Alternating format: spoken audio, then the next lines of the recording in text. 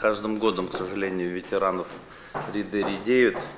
И наша задача выразить каждому из наших уважаемых ветеранов нашу благодарность, наше уважение и окружить их заботой. Я хочу обратиться к главной администрации районов и ко всем ответственным руководителям, которые отвечают за подготовку этого мероприятия, чтобы мы обязательно э, в этот день, в преддверии, дошли до каждого ветерана. Нужно использовать э, все ресурсы и средства массовой информации, в том числе обратиться к внукам, к детям, к соседям. Если есть какие-то факты э, по прошлому году или пожелания усилить работу, усилить внимание, чтобы это сделали до праздника.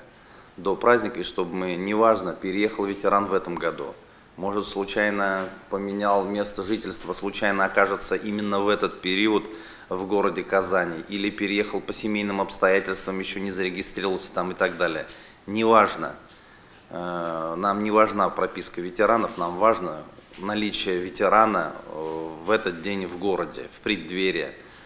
Уважаемые коллеги, это самое-самое важное. Мы умеем э, быть организованными. Это тот случай, когда буквально ни один ветеран не должен остаться без внимания. Я очень вас прошу такую работу провести с школами, э, наши жилищные организации, обслуживающие организации. Мы знаем свое население по месту жительства. Если появился новый ветеран, если э, какие-то пожелания будут от соседей, от родственников, пожалуйста, дайте нам знать в преддверии этого праздника, чтобы они чувствовали заботу и были слезы только радости.